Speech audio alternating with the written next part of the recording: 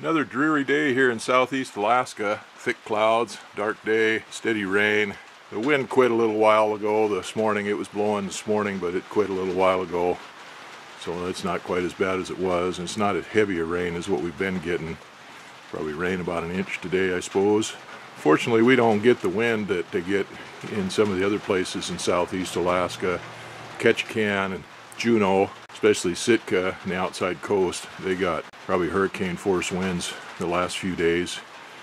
Forecast is for it just to keep continuing on for the foreseeable future. There's just a whole bunch of storms coming in off the Pacific. So we're getting lots of rain, lots of dreary weather. Fortunately, it's not snow. Uh, temperature's been holding mid 30s to upper 30s at night and upper 30s to lower 40s in the daytime. So say no snow here. I think there's snow in the mountains in the coast range over there up higher, but I don't know what the snow level is right now. At least I don't have to shovel snow. All the snow is gone around here. There's just a few little nuggets left of uh, the berms that I plowed up, but that's almost all gone. Anyway, that's not too bad. I don't mind the not having any snow. Uh, I got a fire going in the shop just a little bit ago. I didn't have one yesterday. It was working mostly out here on the outer shop. I don't get it the advantage of the fire anyway, so and it's warm enough that I didn't really need it too bad, but it gets so damp, everything's so damp that I need to get a fire going every once in a while just to keep it dried out in here. I'm still working on this uh, doggone sawmill. I got the blade off yesterday.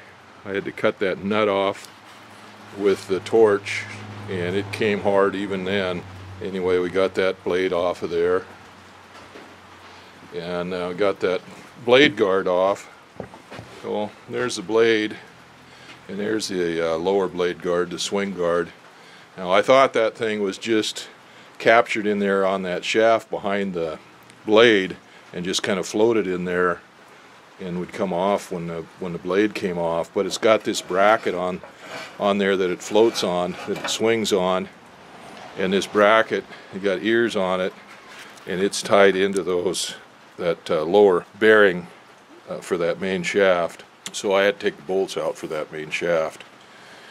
But the more I look at this, you know, I'd, as I said earlier, I'd hope to be able to just uh, do a couple of things on this and get it running and get to milling with it.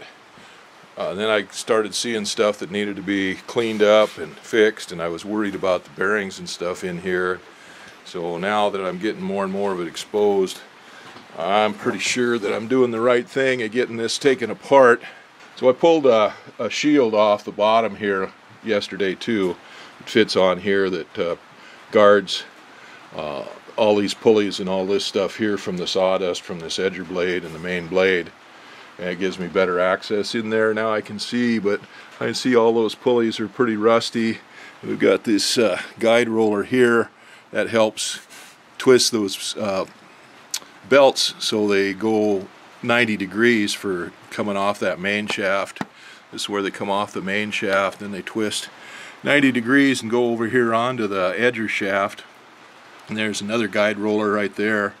And those are set at an angle so that they pull those belts in and help them track right on those pulleys. And those are kind of rough shape, so you have to do with polishing those up.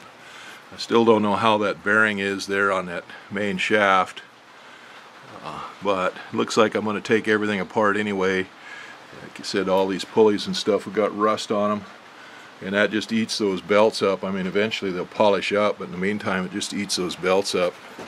So here's the outer bearing for this main shaft and here's another collar right there that the blade rides on and this is just a pillow block bearing here. There's another identical one up here on the top. And they say that they're identical, they have the same part number, but it says in the uh, manual that they've been ground uh, offset. So they're become a proprietary bearing from the company and they're, they're uh, polarized. One of them has to go on the outside here and one of them goes on the inside. So I don't know why they're ground that way, but obviously somebody knows. So anyway, you can't just replace them with an off-the-shelf bearing. Uh, maybe that shaft gets turned at a little bit of an angle. I see there's a, an adjustment here for it for moving it back and forth, that pulley. uh, that bearing. And I don't see a uh, reciprocal one up here on this top bearing. That one just stays put. Those bearings are, uh, I forget what they're called. Uh, they they kind of rotate. They have the the uh, inner race can kind of rotate in on the on the bearings a little bit, so they don't have to be perfectly aligned. So I'm going to have to determine the size of that shaft and the thread pitch on that and get a new nut for that, but that's not too big of a deal. I've got to get a whole bunch of new hardware anyway, and I don't know how the bearings are going to turn out on here yet. I still have to kind of get those off to see how free they are and what kind of shape they're in. So this is the same thing over here on this bearing, uh, this lower shaft for the idler, or for the uh, edger blades. But it's uh, not polarized, they're just the standard bearings on the edger blades. Well, you can see up in there better now. And like I said, I'm not unhappy with my decision to break this thing down. Well, I got just about everything stripped off of that carriage that hangs down from the bottom of it that I can. The only thing that's still hanging on there that can come off is that lumber drag back the bolt there that holds that in, that's got a set screw in it that I can't get out. I must have a groove in it or something because I can get that bolt to turn a little bit, but it won't come out. Maybe there's a flat on it or something, I don't know. Anyway, I haven't been able to get that off of there. That thing is still hanging out and still got quite a bit of weight hanging out over the side of that, but without that blade on there and, and uh, the blade guard and I had the main shafts both the, the main shaft and the edger shaft and the edger blade and all of that other paraphernalia on there. Hopefully that's lightened that up enough now that I can get that to sit up right and it'll be easier that way to work on the rest of that.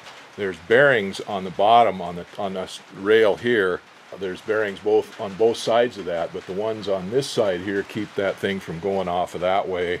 And there was stops on the other side. I took those off so should be able to, to rock that up over, but those bearings on there, I think I want to going to want to change all of those bearings. I have to take those off of there. I have to take that carriage off of there to get those off, but there's still a few more parts and pieces on there on that carriage that uh, uh, probably should come off and get cleaned up. And, uh,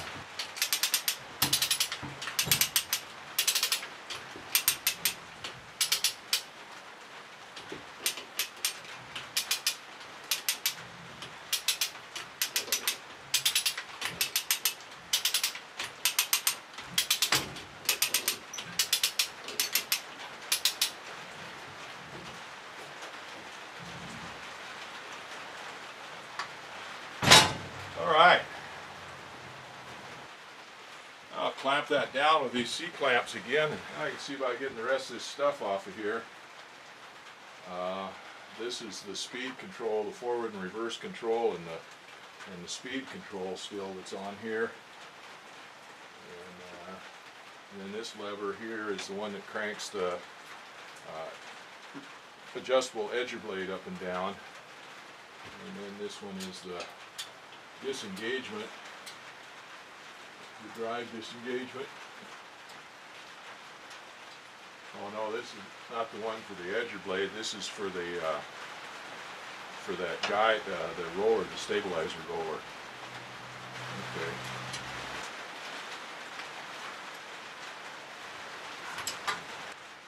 Okay, got off the whole shebang, the whole shebang. All right. It can all come off as a unit. This little unit here, I'll have to see whether that's supposed to have oil in it or something for shock absorbing, but it sure doesn't do anything like now. Maybe just that it uh, uses this spring for pull down, I don't know. But this is what uh, the trip for the reverse, when the reverse lever trips, this is what goes on it. So the only thing left on here other than a couple of bolts for holding down, uh, well this is a tension bolt here for the uh, shaft, for the bearing, for the edger shaft. And then we got bolts over, a bolt here for holding down, or for a stop actually, for the engine, when you put the engine on there. Uh, this is the only thing left on there. This is the crank there for that one uh, idler arm or that one stabilizer. And it's got, uh, you know how the Westway, this one's welded on. It's got a collar on this end, it's welded on. And it's got a spring in there for spring tension. And it's got a collar on this end. Uh, so that's not going to come off of there unless I take this end here off. This end has got a threaded rod on it. It's just held on with a pin, a roll pin. So that won't come out. I'll have to clean all of the rust and crap off of this. So there's a worn spot on there where that was turning on something. There, it's worn down quite a bit. Rubbing on something. Well, this just got a nut on it with a uh, bolt welded on it that attaches to that control rod that goes down through here to uh, move that one bearing, that stabilizer, in and out. I thought I could get this off without taking this pin out of here, but it looks like I'm going to have to take that, this uh, end off here, this threaded end.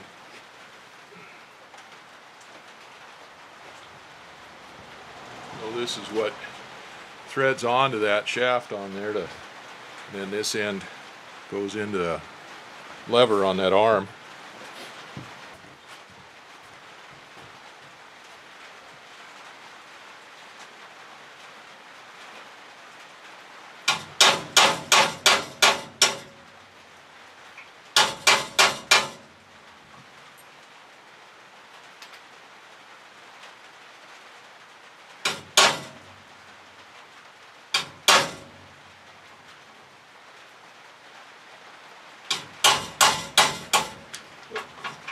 That one easier than I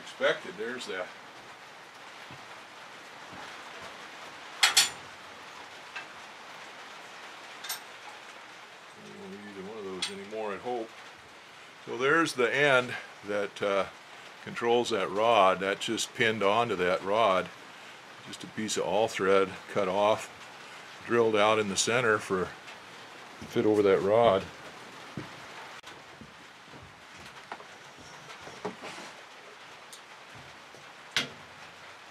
I gotta do is clean all the paint crap off of that rod so I can get that collar to slide down to the other end and slide off when I take the set screw out of it.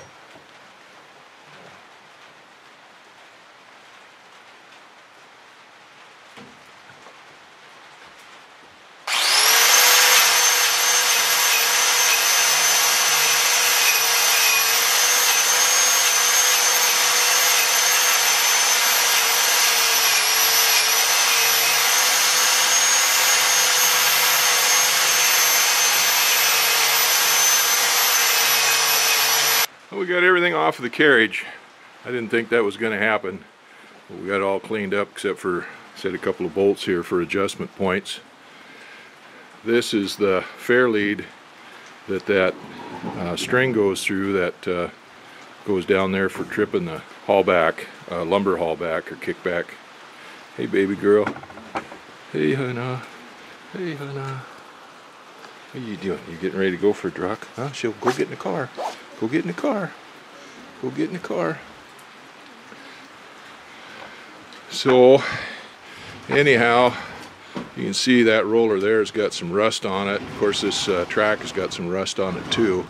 The roller over on the other side's not even rolling. Bearing on the other side, so so we'll get this carriage off of there and tipped over, I guess. That's a little bit high for a workbench, but uh, it'll work. We'll get that tipped over and get those bearings off there, those rollers off there. We got the carriage all disassembled on the top portion of it.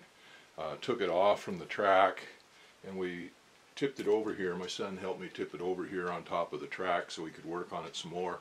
Uh, checking these bearings out and stuff on these rollers. Well, now I have access to these rollers and they're they're freely accessible. They're not free. This one here, which goes underneath the rail on this off side, the outside, uh, that one turns pretty good. The bottom one here, which is the top one that rests on top of the rail, it doesn't turn at all. This one over here is a wide one that fits on the inboard side, uh, on the track, on the cutting side. And, uh, and a wide track on that side, so it's a wider roller here. And that one is kind of crunchy when it turns. Uh, it could just be because it's got crud in there, or more probably the bearings are bad. Um, this one on the, I guess it's actually the front side, this would be the back side because this thing is tipped over. I think, yep, that's right. This is the side here that the edger blades go on. This is the side that faces the operator when you're operating. So that one's a little bit crunchy. This one here, I got it to turn just a little bit here now, but it comes to a stop. So it's bound up for some reason, whether it's the bearing or something else jammed up in there between that roller and the uh, plate there where it stands on. This one here, which is the bottom roller, that one spins freely, but I can feel it's crunchy. Uh, it's dragging in there, and it's kind of loose, wobbly. On this bottom one, it spins free. I don't feel any crunchies in it. Get a little bit of wobble in it. I don't know whether that's in the bearing or in the mount here. So that's the next step is to take these bearings off of here and I'm just going to go ahead and get replacement bearings for all of them. Now these are steel tubes here, pipes or something like that. It's probably a big washer on the outside and a piece of pipe here with bearings pressed in on both sides of it on these these big rollers here and these other rollers here are just bearings so, time to take that stuff apart. And these have got, uh, those almost look like one inch nuts on them. I'll get a wrench and see what they are. Yeah, they must be either 7 eighths or 13 sixteenths. Yeah, 7 eighths don't fit. 13 sixteenths fits like a glove. So,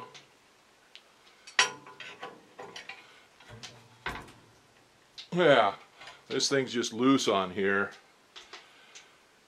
So rather than putting a whole lot of pressure on everything, I think I'll just use the air air wrench on that.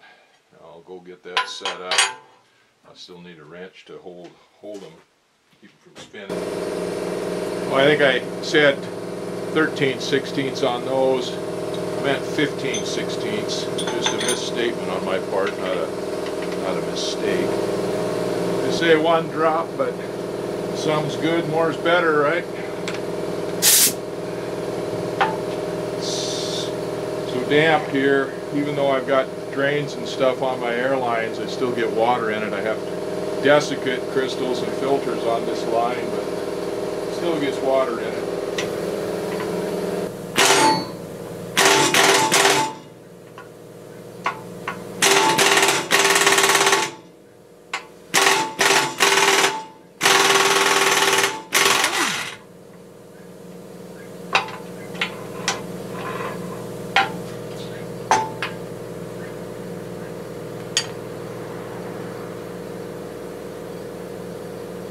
That bearing is shot.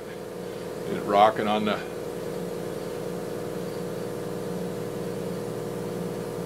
rocking its race, rocking and rolling in its race.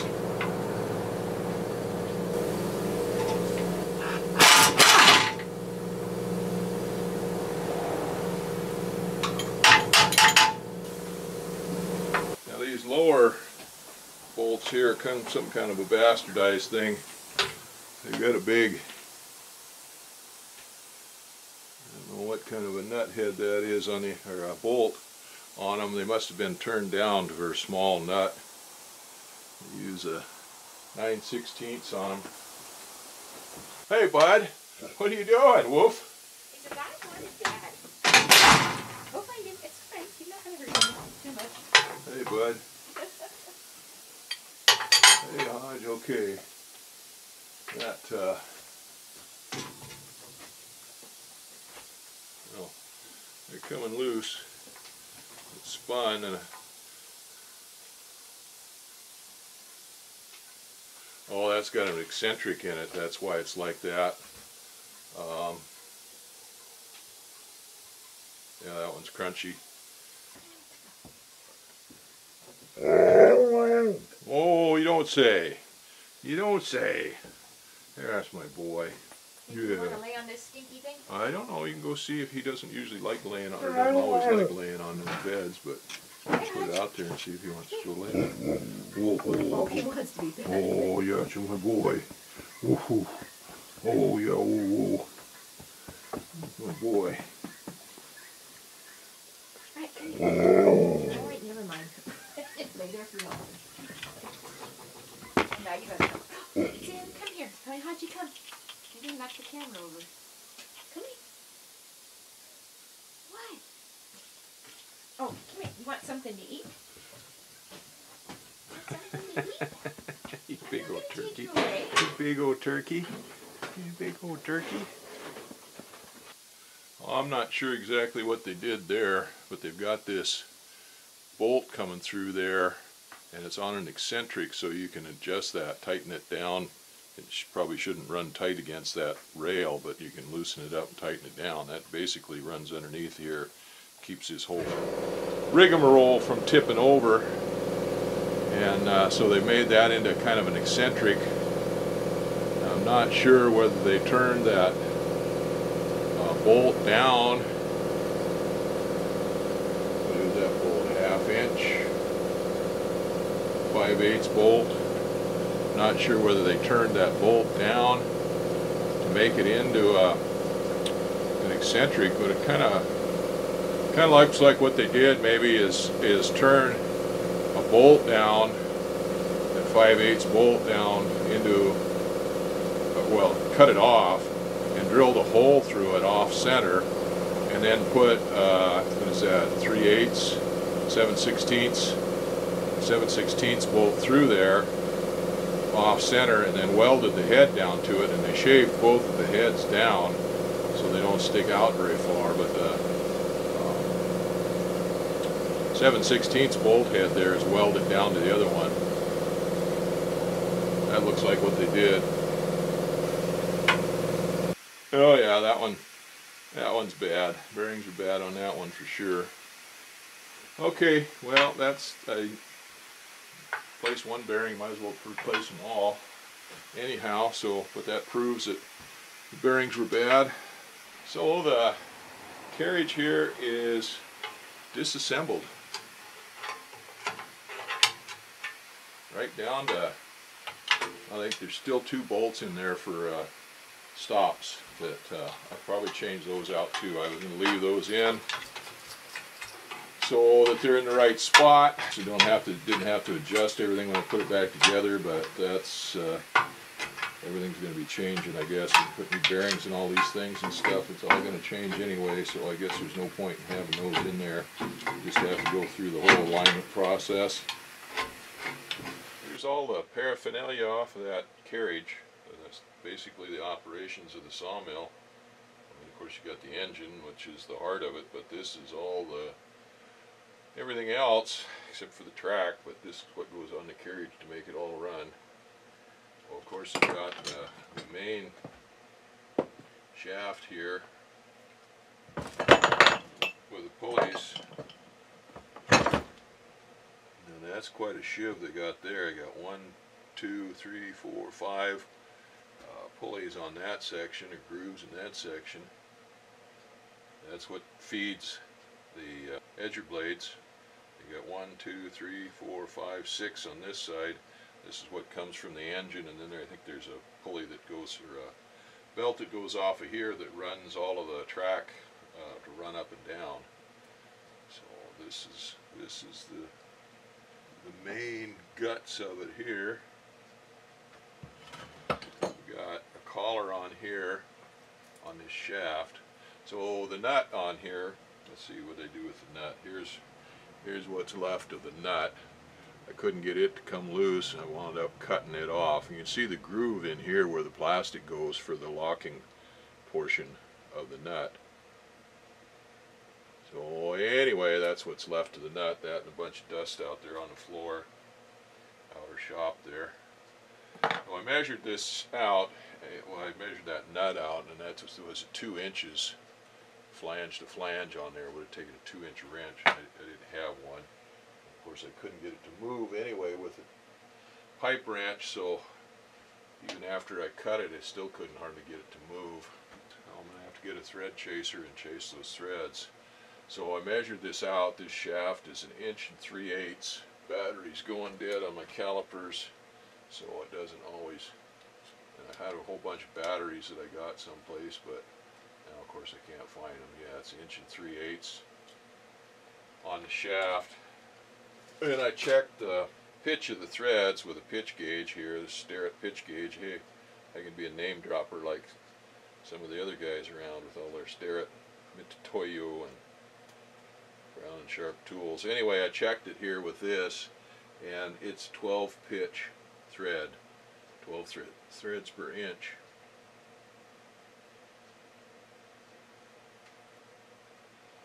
So I need to get a nut and a thread chaser for that to clean that up and to get a new nut on there. So this collar here, that doesn't turn, that must be pressed on. This bearing of course is pressed on. That bearing doesn't feel too bad there. Now there's no grease zerks on these bearings. And reading the manual, they're a proprietary item because they have to take the bearings, or they do take the bearing theoretically and grind them angle, the race at an angle for some reason. I'm not sure why. Oh. Anyway, this is the other bearing, and this one doesn't feel too good. It spins free, but it's a little rough. So, I don't know whether you can hear that or not. You can hear it making noise there. So that one will get, that one will get changed out, and that's the inboard bearing. So that one will probably have to come from uh, Mobile Dimension. And I may just do both of them just for good measure, I don't know. Usually when one thing goes bad, it don't take very long for other parts to go bad too. Now here's the rollers that I just took off of the carriage and they're, they've got bad bearings in them so I'll have to get the numbers off those bearings, press them out of there and uh, get new bearings for those rollers. I might get new bear, new uh, bolts here. This bolt actually is not too bad a shape. Let's see how badly it burred up. No, I didn't burr that one up when I beat it out of there. Looking to see if the bearing had spun on there, but they hadn't spun on there, so that's all right. Those should be okay. And then these bearings are for the track on the other side, and of course they're uh, bad. They either got crunchies in them or this one's fairly smooth, but it's a little bit stiff. So, and now there's a bearing here. This is what rides on the, a log keep the track from bouncing up and down. And this bearing, surprisingly enough, is not in too bad a shape. It's feels good. But there's another one over here on this other uh, stabilizer arm, and that one's froze up solid. I have to figure out how to get that one out of that arm there and put a new bearing in that. This is the edger shaft. And this is the adjustable edger blade. I haven't taken it off yet. You have to take the ends off of here, I guess. Take there's a bearing here on the end. That bearing, yeah, it's not very good. I don't know. Yeah, yeah. Probably better change it, I guess. This one up here is bad. This bearing is bad. Yeah, not good.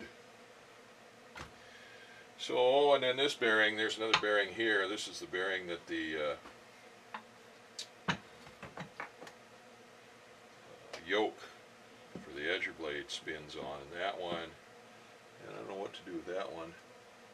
I'll take that apart and see if that just presses apart or if that's a special bearing because that's just got ears on it there. And then this shiv here it's pretty rusty. That one's pretty bad. That's got one, two, three, four, five, five grooves on that shiv. That one's that one's gonna need some cleaning up. Maybe replacing, I don't know. We'll have to wait and see. But anyway, this bearing comes off of there. There's a collar on here with a, a lock. It's a split collar on here. So that can come off. So there's gonna be some work on the press, I guess. And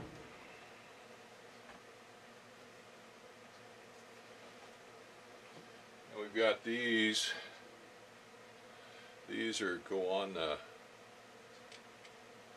machine and they go up against the belts because the belts all turn a little bit. They're not at a, they're not straight run belts. They, well, the ones that go between the main shaft here and the edger shaft, they turn 90 degrees. So they, there's two of these followers there that that go on that belt to uh, help them track.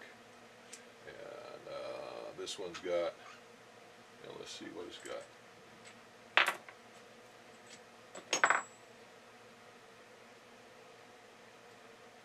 This one's got, Whether that's got bearings in it. Let's see what we got here. I'll get some kind of scraper and see if that's a bearing or if just a sleeve in there.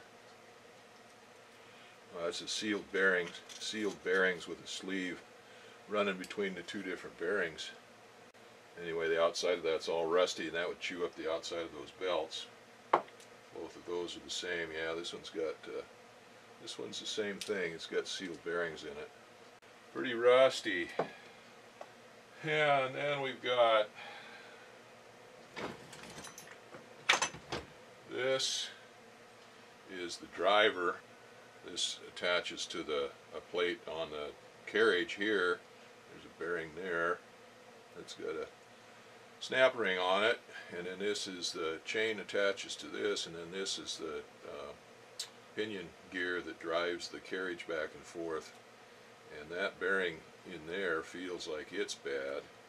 So then we got another one here. This one uh, goes on the main blade up on top, and then you've got a a belt here that uh, that's belt driven here that turns it, and there's a bearing in there.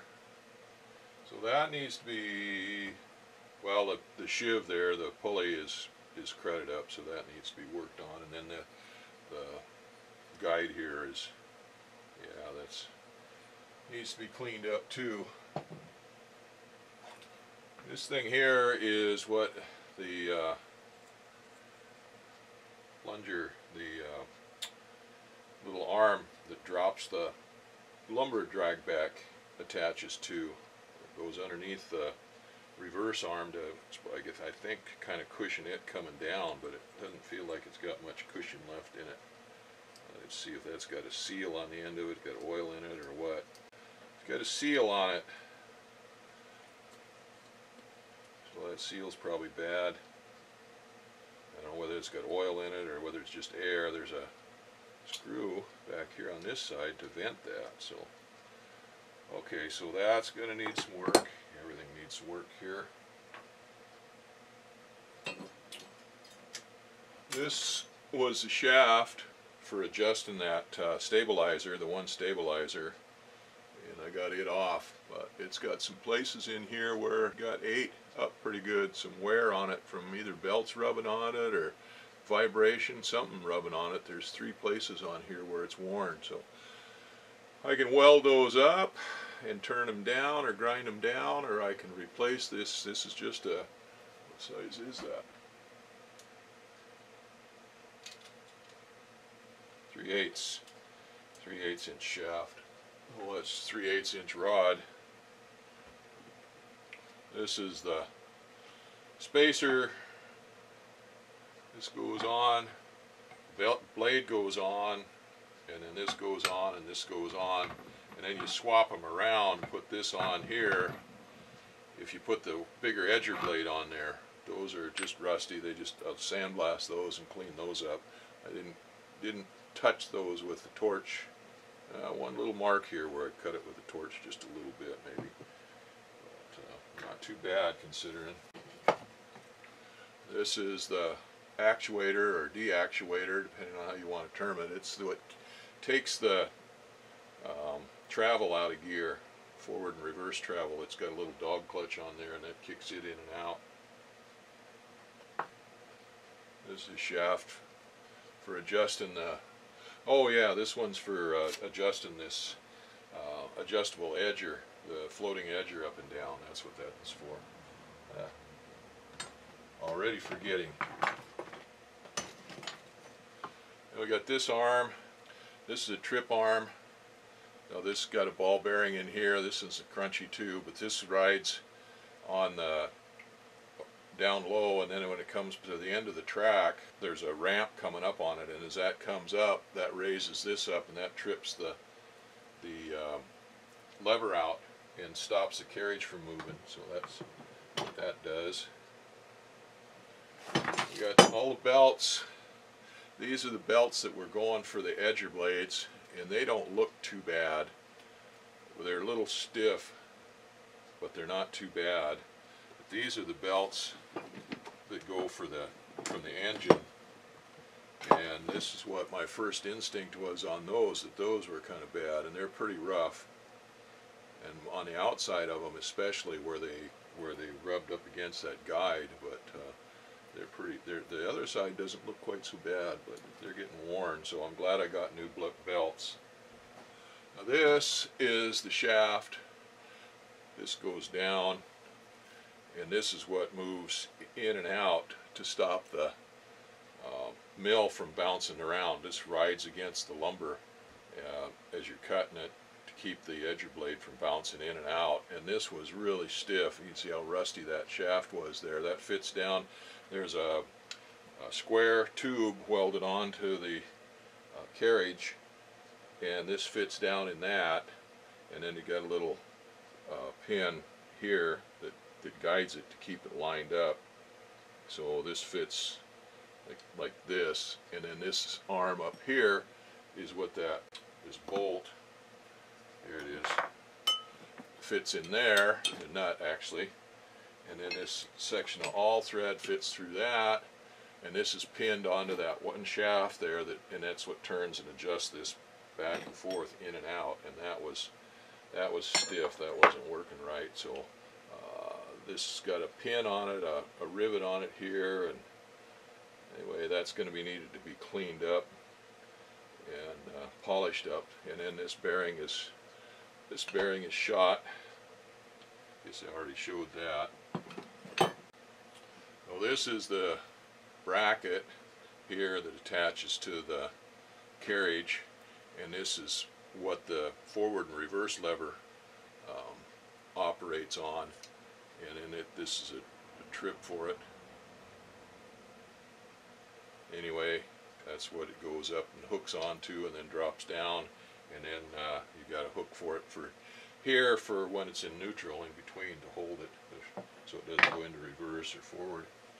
This was on the track and this is what adjusts the the mill uh, it actually adjusts the mill up and down no back and forth uh, for doing your depth of cut when you have the stanchions, when it's on the stanchions.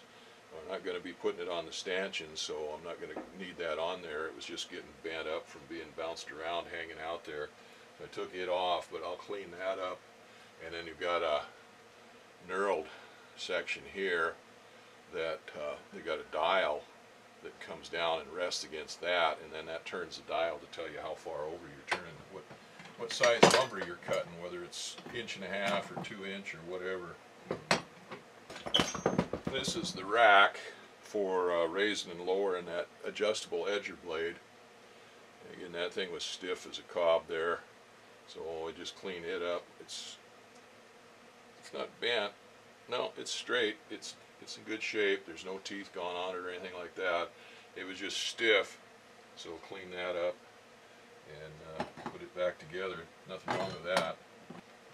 So here is the variable speed pulley. You see it's got springs on both sides of it and uh, this just there's some kind of way to adjust that but anyway that expands and contracts, goes in and out. And so when it's in like this, the belt's riding out farther and it's an effective, the pulley is effectively larger diameter. And when it expands out, then the pulley is effectively a smaller diameter. And uh, well, that all looks like it's working, but that bearing's good. This bearing over here on this side is froze up. And then it's got a sheave in here. There must be a belt that goes on that to somehow to operate this to make it move. Anyway, and then here's a fair lead on here for that cable to come up through that for the reverse trip um, for the lumber drag back. And this is the speed adjust stuff here. Got a couple of sheave there, pulley, and flat pulley there. Arm. Anyway, this thing moves up and down and changes uh, tension on the belt, which I guess which runs this. That must be how that works. Don't know how that works exactly yet. And here we got the main um, drive doohickey. Uh, yeah, these pulleys need to be cleaned up. Bearings don't feel too bad, but as long as we're doing bearings, we maybe all do them all. So that's the uh, shifts into forward and shifts into reverse, and then there's the main drive uh, dog. That looks like it's in pretty good shape, but I have to get it cleaned up to make sure. Anyway, that fits on there, and that spring pushes that out to normally keep that engaged, and then. Uh, but it only pushes it out so far so that when you, you take that little lever and it pulls it out and that disengages this clutch which is what drives the this is the pinion gear for the rack here there it is right there it had a gear on it okay so that fits on there see that just spins normally on that shaft when it's pulled out when it goes in then these these little ears right here engage with the slots on the, the other one. You know, and that and then chain goes on that. That's what drives the carriage back and forth up and down the track. So that's that on there. There's a few other odds and ends, brackets and pieces and things like that that uh, we'll clean up. And then of course you got the lumber gauges and these bolt onto the bottom of the track and that's what runs up against the these ends here run up against the log or against the board the cut face of it the open face of it to stop the track from moving in and that's what determines how deep of a cut you make when you're uh, cutting whether it's a, a two by or a one and a half by or whatever. Um, so this is one this one works. You got a arm here with a spring on it and then this paddle that sticks out and then that butts up against the the face, the cut face of the timber and stops it from the carriage from going in any farther and then when the mill comes by it that hits it knocks it out of the way. Okay I kind of figured that out. In a way I kind of figured it out. Still don't have it completely figured out yet. I see it working I guess but uh, so that's all the paraphernalia off of that. Um, get that stuff all cleaned up. I guess the first thing is going to be to, well, we'll clean as much stuff up as we can here so we can get numbers and stuff for those uh, pulleys. And, uh, and then some of the bolts, the hardware is going to have to be replaced. Some of this stuff, uh, I'm not going to put rusty rusty old cruddy hardware back on, so we'll get new stuff for, for some of this stuff. Alright, well that's it for now for the Mobile Dimension sawmill. She's all apart. Oh yeah, this is the this is the yoke here. This is what the ah, good thing I didn't hit my toe. Or anything else valuable. This is the yoke that fits on that movable edger blade and then this uh, rack fits in there and that yoke that's what raises that uh, adjustable edger blade up and down. No, no big deal there.